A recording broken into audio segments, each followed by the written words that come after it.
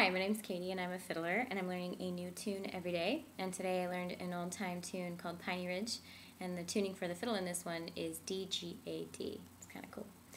Um, and also it's crooked, which is also cool. So I hope you enjoy.